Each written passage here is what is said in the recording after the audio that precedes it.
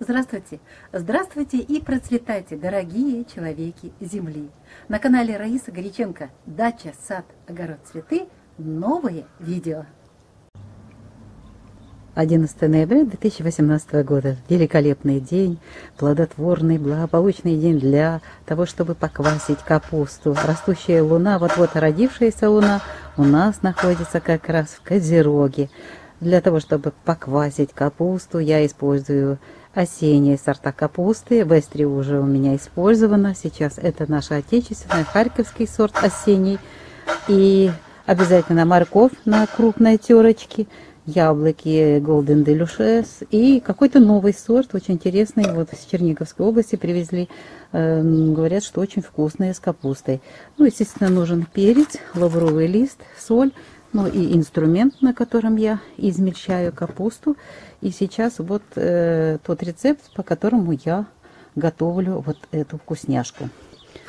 Мне э, для того, чтобы его заложить сюда, приготовленное блюдо, вот такое на зиму, нужна еще бочка. Вот она пищевая, и в бочку помещаю еще тоже э, пищевой э, мешок такой целлофановый. Итак, что я делаю? Э, я использую 10 килограммов капусты, 15 килограммов яблок, мы очень их любим, э, полкилограмма моркови, 10 лавровых листиков, где-то полпакета э, ароматного вот этого душистого перца горошком и 160 грамм соли. Измельчаю капусточку и так вот слоями, вот слой где-то 5-7 сантиметров капусты и слой вот этих замечательных красивых яблочек я уже вот выкладываю. И каждый слой прижимаю, чтобы не было пустоток между яблоками. Наполняю вот эти пустотки. Капусточка должна полностью сюда попасть. Капуста должна быть свежей, сочной, очень такой вот э, хрустящей. Но самое главное, что она свежая, не сухая. И э, она дает очень хорошо сок. Если же, вот мои друзья, у них долго лежала капуста, и они ее начали э, шинковать, а сока почти нету. Поэтому они еще использовали э, воду. Вот это количество, которое нужно в соль, они часть в воду добавляли соли и вот так таким образом именно яблоки и капусту закладывали на квашение. Почему я готовлю именно таким образом? В этом году чуть-чуть изменила рецептуру, уже не ложу головки капусты для голубцов. Она у нас будет отдельно, а здесь именно яблоки мы очень любим. Вот этот сорт Golden, он очень хороший э, и очень вкусный, но он хранится, э, буквально еще месяц будет э, храниться, редко до Нового года он сохраняется. И особенно вот этот яркий, желтенький, солнечный такой сорт, Golden Deluches. Поэтому э, именно в капусте он сохраняется у нас до марта месяца. Мы так слой за слоем вытягиваем слой капусты, потом идет слой э, яблок. Этих слоев у нас много. Здесь большая бочечка, она высокая, тем она хороша, что доступ воздуха, вот вытянули часть и доступа воздуха нету. Закрываем пакет снова же, но в данном случае сейчас я э, до конца уже до верха наложу капусту и яблоки. Завершающий слой у меня будет капустный. Вот очередная партия капусточки измельчена. Сюда добавлена уже морковь, сразу же специи. Все это перемешивается вместе с солью. Я не боюсь ее мешать. Она все равно будет красивая, вкусная. Вот это буду делать сейчас двумя руками. Ну, после этого, вот этот момент очень важный, когда уже она пустила сок. Сейчас она вот становится мягенькой. Вот именно вот эту уже капусту хорошенько перемешанную. Она по вкусу, кстати, чтобы солью вот правильно все сделать, по вкусу должна быть чуть-чуть солонее. Если вот салат делаем, вот, то в данном случае соль больше чуть-чуть ставится. Оно такое чуть-чуть соленоватый получается салатик. Вот. И теперь уже вот эту капусточку я закладываю в бочку. слой яблок, слой капусты.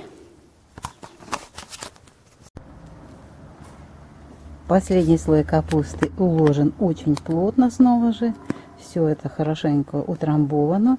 Теперь я э, белую ткань чистую застилаю тонкий слой и крышку. У меня старая, от старой кастрюли осталась эмалированная крышка. Так я ее переворачиваю.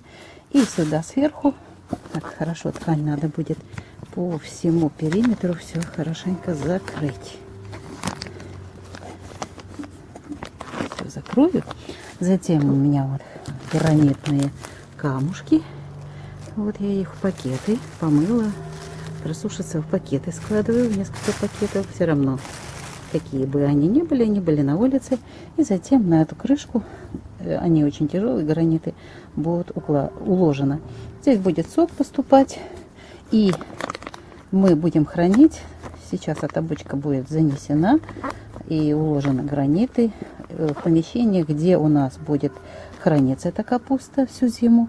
В помещении сейчас от 10 до 12 с плюсом, а зимой плюс 2, плюс 3 градуса, когда сильные морозы, опускается температура почти до нуля, где-то плюс 1-0 градусов. И получается, что до Нового года мы эту капусту, вот сок увижу, э, не я не выпускаю этот газ, потому что здесь у нас яблоки, яблоки и капуста, они дополняют друг друга и наполняются друг другом ароматами, э, всеми натуральными фруктозами, сахарами, э, витаминами. И только к Новому году, потом мы эту бочечку вот таким образом зачернуем именно мешок, мы эту бочечку закроем, чтобы не было туда доступа воздуха и дальше не кис продукт. Они получается такая вот, яблоки такие сладкие, почти как заложенные, но очень вкусные. И капусточка не киснет сильно. И вот так вот оно зимой хранится надо. Я открыла, сняла, все это лишнее там убрала, снова положила тряпочку, помыла или поменяла.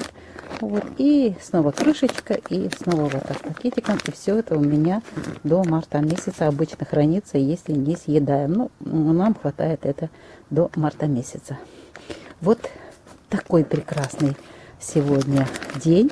И в этот день замечательный приготовлена капуста с яблоками. Квашеная капуста с яблоками. Очень вкусный и полезный продукт.